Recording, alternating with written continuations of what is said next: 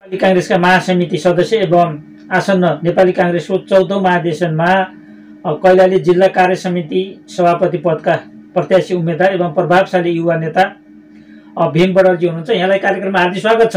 हस् धन्यवाद।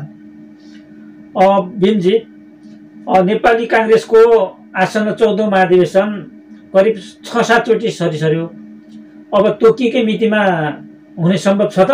कि फेरि पनि सर्छ भन्ने शङ्का भइरहेछ फेरि। होइन अब यसपटक चाहिँ अब नसर्ला। हामी त्यो कुरामा करिब करिब अन्तिम चरणमा छ अहिले। भीमजी लामो समयदेखि करिब तिन दशक पार गरिसक्नु भएको छ। नेपाली काङ्ग्रेसमा आबद्ध भएर समाजसेवा गर्ने प्रेरणा कसबाट कति सालमा पाउनु भएको थियो? पहिलो कुरा त म आफै पनि एउटा अत्यन्त एक खालको सामाजिक रूपमा अभावग्रस्त ठाउँमा पीडाग्रस्त ठाउँहरूमा बाट आएको मान्छे हुँ। र त्यो ठाउँको अवस्था र त्यो त्यहाँको परिस्थिति शिक्षाको पनि उज्यालो घामबाट वञ्चित हुनुपर्ने स्थिति अन्य स्वास्थ्य बाटोघाटोदेखि लिएर कुनै पनि सुविधा नभएको ठाउँबाट आएँ। त्यस कारणले के हो भने त्यो त्यो अव त्यो अवस्था देख्दाखेरि मलाई सुरुदेखि नै गरिब जनताको पक्षमा ला, ला लड्नुपर्छ उनीहरूलाई अगाडि ल्याउनुपर्छ र यो समाजको विकास गर्नुपर्छ भन्ने प्रेरणा मलाई मेरो मातृभूमिबाटै मिलेको हो। र अहिले करिब तिन दशक भइसकेको छ पार्टीमा आबद्ध भएको। पार्टीको कुन कुन जिम्मेवारी पदमा रहेर कसरी जिम्मेवारी सम्हाल्नुभयो कतिको चुनौती आइपरे अनुभव के छ?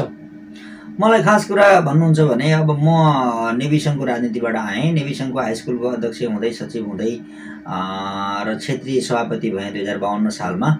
र पछि आएर म जिल्ला कार्य समितिको कोषाध्यक्ष भएँ नेभी सङ्घमै दुई हजार चौन्न सालमा। र उन्साठी सालमा आएर जिल्ला नेभी सङ्घको अध्यक्ष भएँ। र पार्टी ब्रेक भएको बेलामा त्यति बेलाको प्रजा प्रजातान्त्रिक काङ्ग्रेस पार्टीमा म केन्द्रीय प्रचार प्रसार समितिको सदस्य भएँ पार्टीको केन्द्रीय समितिमा। त्यो दुई हजार साठी सालको कुरा हो।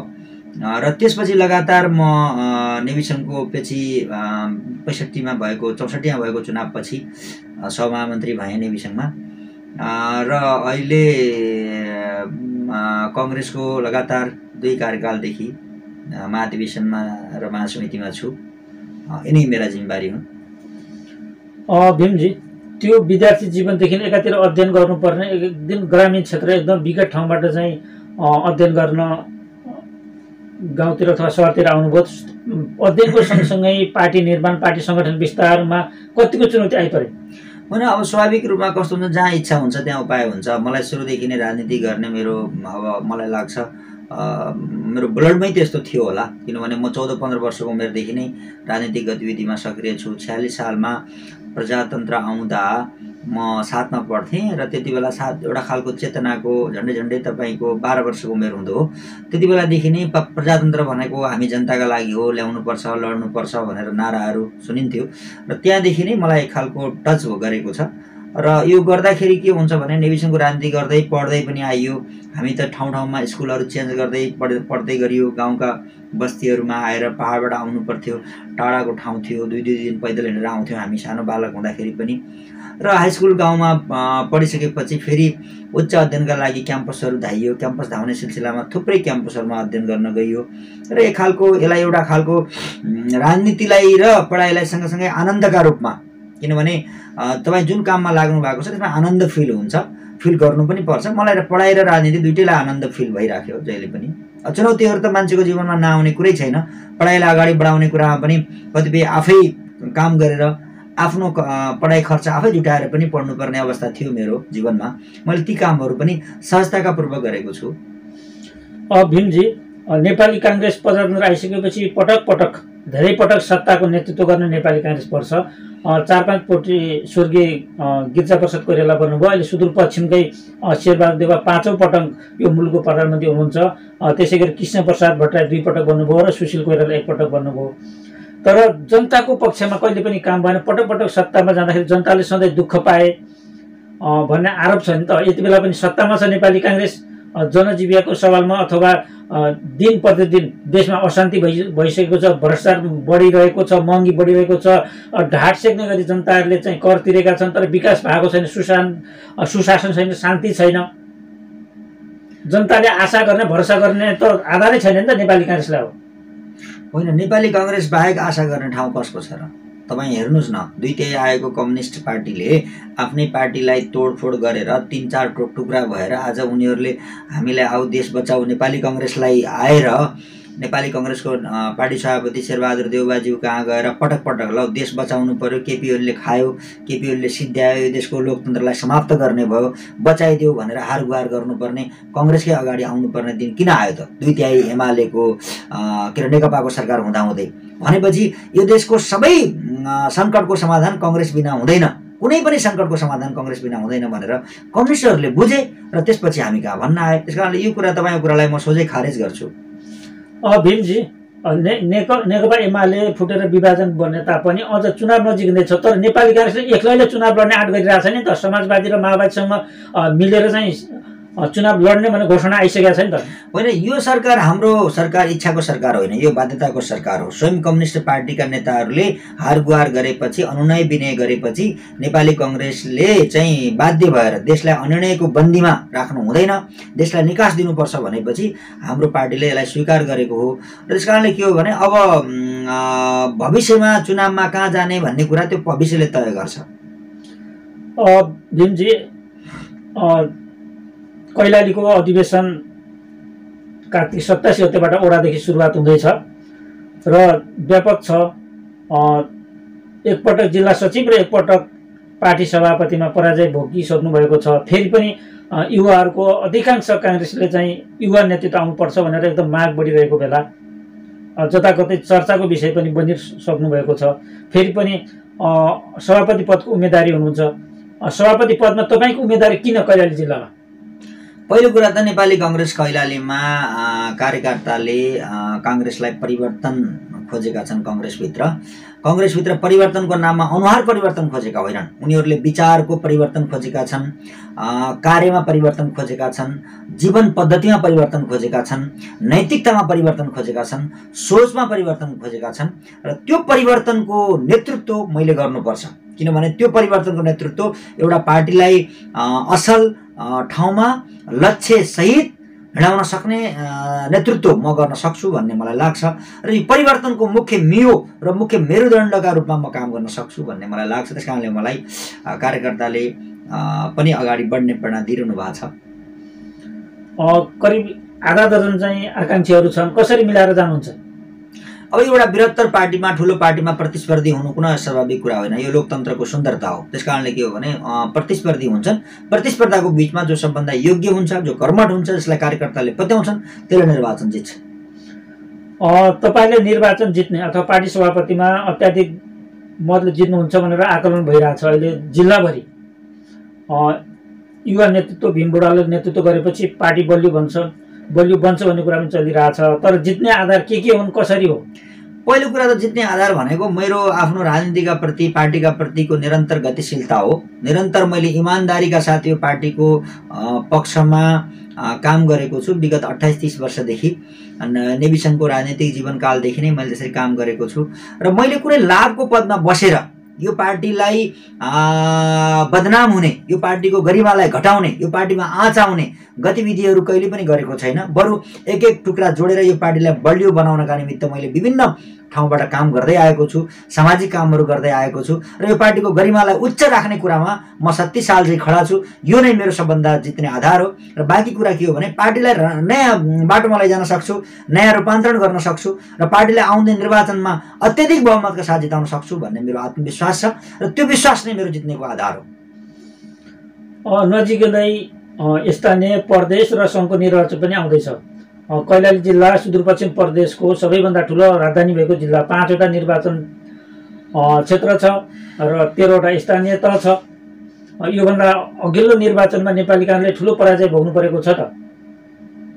अब यस्तो हुन्छ कस्तो हुन्छ भने अघिल्लो निर्वाचनमा पराजय भोग्नुको मुख्य कारणलाई हामीले हेर्ने हो भने हामीले यसका पछाडि नेतृत्वलाई हेर्नुपर्ने हुन्छ। कैलाली कङ्ग्रेसको नेतृत्वले चुनाव जिताउन सकेन। यो कुरालाई हामीले स्वीकार गर्नुपर्छ। र किन सकेन? भन्दाखेरि उहाँहरूसँग त्यो जिताउने कला त्यो जिताउने रणनीति त्यो जिताउने चातुर्यता त्यो जिताउनका लागि कार्यकर्तालाई परिचालन गर्न सक्ने सामर्थ्य र शक्ति भएन यो कुरालाई हामीले स्वीकार गर्नुपर्छ। दोस्रो कुरा हामीले के स्वीकार गर्नुपर्छ भने अकस्मात वाम गठबन्धनका बिचमा भएको एकता पनि यसको पराजयको एउटा कारण थियो। यी दुइटै कुरालाई हामीले स्वीकार गर्नुपर्छ। त्योभन्दा पनि पार्टीभित्रै पनि व्यापक अन्तर्घात भयो भन्ने कुरा व्यापक छ धेरैले कारवाही पनि गरियो। अझ पनि त्यो सम्भावना बढ्ने घट्ने नभएर बढ्ने सम्भावना सङ्केत छ नि त। होइन एउटा कुरा के हुन्छ भने तपाईँले आफू चुनावमा हारिसकेपछि आरोपित गर्ने केही साथीहरूलाई आरोपित गर्ने यो पुरानै बानी हो पुरानै संस्कार हो र यो संस्कार चाहिँ चाहिँ हामीले बदल्नु जरुरी छ। रह्यो के हो भने सामान्य अन्तर्घातहरू भए पनि होलान्। ती कुराहरूलाई म पनि स्वीकार गर्छु। विभिन्न ढङ्गले पार्टीभित्र यस्ता गतिविधिहरू हुने गर्छन्। तर अन्तर्घात नै चुनाव हारको मूल कारण चाहिँ होइन। भीमजी तपाईँकै घोडागढी नगरपालिकामा मेयर उपमेयर पनि पराजय भोग्नु पऱ्यो नि त। त्यो बलियो एकदम धेरै कार्यकर्ता भएको एकदम तपाईँकै क्षेत्र पनि हो नि त। अब यस्तो हुन्छ पहिलो कुरा हेर्नुहोस् टिकट वितरण गर्ने कुरामा हामीले निकै बुद्धिमानी अप्नाउनु पर्ने हुन्छ। टिकट वितरण गर्दाखेरि जनमत भएको जनाधार भएको कार्यकर्ताले पत्याएको जनताले पत्याएको मान्छेलाई टिकट वितरण गर्न पर्छ किनभने जसको जनमत सबभन्दा बढी छ उसलाई दिनुपर्छ नम्बर एक कुरा। नम्बर दुई कुरा के हो तपाईँको भने हामी कहाँ टिकट वितरण गर्दाखेरि सामान्य मापदण्डहरूलाई पनि पुरा गरिँदैन। नेताको बलमिच्चाइको आधारमा नेताको अधिकारको आधारमा नेतासँग पावर छ भन्ने आधारमा टिकट वितरणहरू भएका छन्। सबै कुरा भएको होइन कमसेकम कैलालीमा धेरै ठाउँमा यस्ता कुराहरू भएका छन्। दोस्रो कुरा के छ तपाईँको भने अहिले तपाईँले हामीले हेऱ्यौँ भने हामीले यो कुरालाई स्वीकार गर्नै पर्छ कि पार्टीको नाममा कुकुर बिरालो उठाए पनि चुनाव जित्ने स्थिति छ त? छैन नि। किनभने त्यो जमाना थियो कुनै बेला थियो अडतालिस सालमा थियो होला। त्योभन्दा पहिला चौ दुई हजार सोह्र सालमा थियो होला। तर अहिले के छ भने समय धेरै परिवर्तनशील भइसकेको छ र धेरै परिवर्तनशील समयलाई हामीले बुझेर नेताले पनि बुझेर जिल्लाले पनि बुझेर केन्द्रले पनि बुझेर जो जनमतमा सबभन्दा बलियो छ कार्यकर्ताले पत्याएको छ र क्रियाशील सदस्यहरूले पत्याएको छ त्यो मान्छेलाई टिकट वितरण गर्नुपर्छ। भविष्यमा यी कुराहरूलाई हामीले गल्ती दोहोऱ्याउनु हुँदैन। अब जिल्ला वा नगरपालिकामा हार्ने नहार्ने कुराहरूलाई पनि यी कुराहरूभित्रैको आकलनमा हामीले हेर्नुपर्छ। यसकै आलोकमा हामीले हेर्नुपर्छ। भीमजी त्यो घोडाघोडी कैलालीका मध्यवर्ती क्षेत्रमा उज्यालो कार्यक्रमका लागि चाहिँ ग्रा घोडाघोडी ग्रामीण विद्युत विस्तारको अभियानमा हुन्थ्यो। त्यसको अध्यक्ष पनि हुन्छ व्यापक एकचोटि विरोध आएको थियो। तालाबन्दी पनि भयो। त्यो काम कहाँ कसरी समाधान भयो? कतिजनाले चाहिँ उद्देश्य पुरा भयो कि भएन?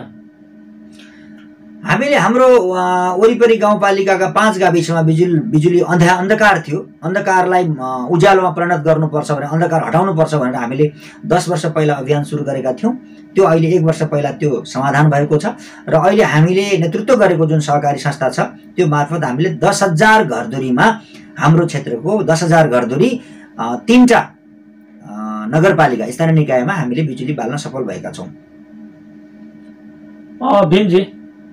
यदि कैलालीको नेतृत्व सम्हाल्नु भयो भने पार्टी कस्तो बनाउन चाहनुहुन्छ कैलालीको? पार्टी कस्तो हुन्छ? अब कस्तो पार्टी हो भन्ने कुरा म त्यसको फुलबुट्टा भर्न चाहन्न। फुलबुट्टा भनेर साध्य पनि छैन। र मुख्य कुरा के हो भने पार्टीलाई एकताबद्ध बनाउने हो। मेरो पहिलो मुख्य उद्देश्य भनेको पार्टीलाई एकताबद्ध बनाउने हो। पार्टी पार्टीमा आत्मीयताको भावनाको विकास गर्ने हो। आज चाहिँ के भएको छ भने एउटा कङ्ग्रेसले अर्को कङ्ग्रेसलाई देख्दाखेरि तर्सिने वातावरण बनाइएको छ। कङ्ग्रेसले कङ्ग्रेस देख्दा तर्सिने होइन। कङ्ग्रेसले कङ्ग्रेस देख्दा आत्मीयताको भावना विकसित हुनुपर्छ। म त्यो आत्मीय भावनाको उसले उत्प्रोत भएको पार्टी बनाउन चाहन्छु नम्बर वान नम्बर दुई कुरा के हो भने आउने स्थानीय निर्वाचन प्रान्तीय निर्वाचन र संसदीय निर्वाचनलाई कम्तीमा पनि दुई तिहाई बहुमतमा जिताउने मेरो दृढ इच्छा शक्ति छ इच्छा छ लक्ष्य छ त्यसका लागि म लाग्छु। भीमजी करिब कैलाली जिल्ला भर्खरै टुङ्गिएको छ। कैलाली जिल्ला लगायतका तेह्र जिल्लाका कारणले नेपाली काङ्ग्रेसको अधिवेशनको मिति करिब सात पटक सरेको छ। र कैलाली जिल्लामा करिब साउनको महिनादेखि नै लगभग गुट उपगुटका कारणले पानी बराबर देखा एक ठाउँमा नबस्ने स्थिति पनि भएको छ। कसरी मिलाउनुहुन्छ त? पहिलो कुरा त के हुन्छ भने यदि फर्स्ट म्यान तपाईँले हेर्नुभयो संसारमा जहाँ पनि फर्स्ट म्यान राम्रो छ भने तल आफै मिलेर आउँछ। तल आफै राम्रो हुन्छ। त्यसले फर्स्ट म्यान भनेको के हो तपाईँको भने जिल्ला सभापति जिल्लाको हकमा फर्स्ट म्यान हो। र त्यो फर्स्ट म्यान चाहिँ लोभ लालचबाट मुक्त हुनुपर्छ। त्यो फर्स्ट म्यान चाहिँ गुटु बुकुटको सङ्कीर्ण भावनाबाट मुक्त हुनुपर्छ। त्यो फर्स्ट म्यान चाहिँ के हुन्छ? उदारता एकदम उदार भावनाले युक्त हुनुपर्छ। र त्यो फर्स्ट म्यान चाहिँ के हुनुपर्छ भने अत्यन्त त्यो के भन्छ के अरे सङ्कीर्ण सोच र दायराबाट मुक्त हुनुपर्छ। र त्यो मुक्त हुने नेतृत्वमा भयो भने लोभ लालचबाट मुक्त भयो स्वार्थबाट मुक्त भयो भने पार्टीको पार्टी आफै रहनुहुन्छ पार्टी अगाडि बढ्छ। र म के छु भने कुनै पनि सङ्कीर्ण भावनाबाट मुक्त छु। सबै अठार हजार क्रियाशीललाई एकताबद्ध बनाएर उनीहरूलाई समान माया प्रेम र हौसला दिएर र उनी अठार हजार क्रियाशीललाई म प्रेरणा दिएर उनीहरूलाई अगाडि बढाउन सक्छु भन्ने मलाई विश्वास छ। क्रियाशील सदस्यकै कारणले विवाद पटक पटक केन्द्रमा मुद्दा परेको छ। र आफू अनुकूल पार्टी विधि विधान अनुसार नगएर व्यक्तिका हिसाबमा चाहिँ क्रियाशील भरिएर आयो भन्ने छ नि।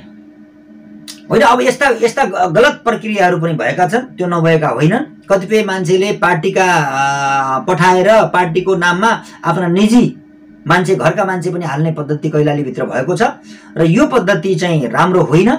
तर पनि के हो भने अब क्रियाशील सदस्य बनेर आइसकेपछि यसलाई हामीले स्वीकार गर्नुपर्छ र नयाँ बाटो नयाँ बाटो पहिलाउनुपर्छ। पार्टीको विधि विधान सिद्धान्त भन्दा पनि जातीय भेगीय राजनीति पनि छ नि त कैलालीमा त नेपाली काङ्ग्रेसभित्र। म यो जातीय भेगीय र क्षेत्रीय भावनालाई पूर्णतया खारेज गर्न चाहन्छु। म यसको पक्षमा छैन।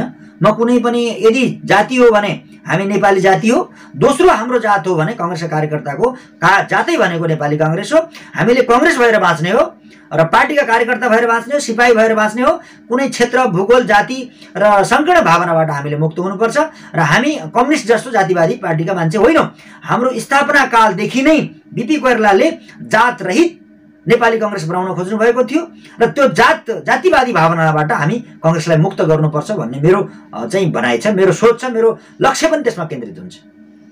भिन्टी अर्कोतिर पुरानो नेपाली काङ्ग्रेस अथवा त्याग तपस्या गरेका काङ्ग्रेस पार्टी निर्माणमा ठुलो योगदान पुर्याएका समय खर्चेका अनुशासन पार्टी विधि विधानलाई मानेर अगाडि बढ्ने कार्यकर्ता आज पछाडि छन्।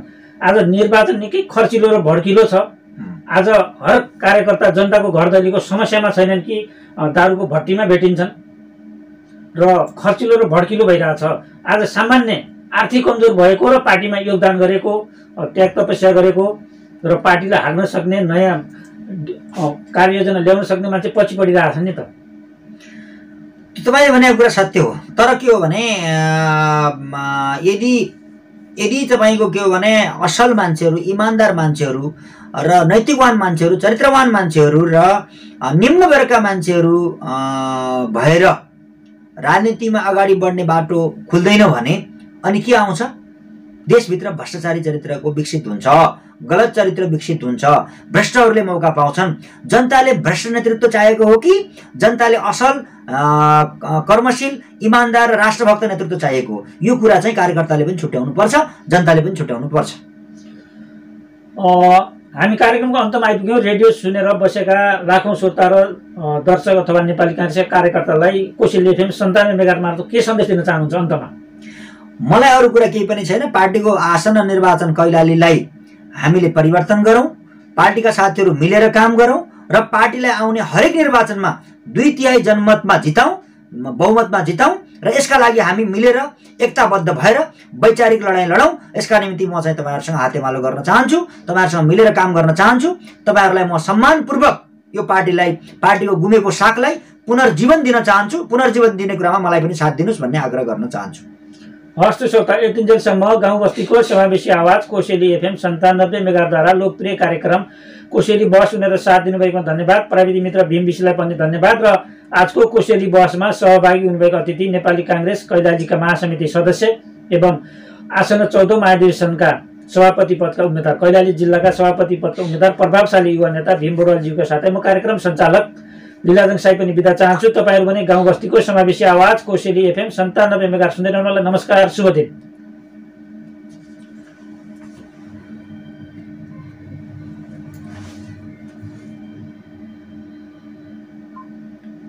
भयो त।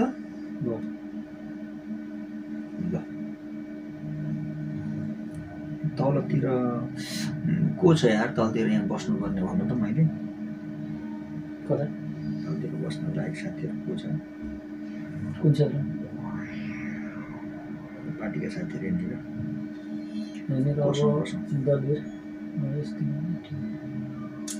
गणेशहरूसँग बस्दा आज पनि फाइदा छैन मलाई। उतातिर बस्नु। राहुलहरू कहाँ छ? न त्यो भाइ। बिर्जेस ब्रिजेश होइन? यही छ ब्रिजेशलाई चिया खानु भयो है तिनीहरूसँग बस्नु फरक पक्षसँग बस्नु यस्तो छ कि? उनीहरूसँग बस्दाखेरि चाहिँ एट्याक हुन्छ कि मलाई? त्यो फेरि त्यो हाम्रो त्यो गणेशले पनि पुरै बुझाएको छैन। यार त्यसलाई अलिक सम्झाउनुहोस् न तपाईँहरू यार होइन हाम्रो आफ्नो मान्छेको अगाडि अनि त्यसलाई कति माया गर्ने? सुन्नुहोस् न त्यो एकहोरो हेलो। ब्रिजेश। नेपाल कहाँ हो? अनि यसो कहीँ बसेर चिया खाउँ न म यहाँ यहाँ यहीँ थिएँ। म यहाँ यो लीलाजीसँग एउटा इन्टरभ्यू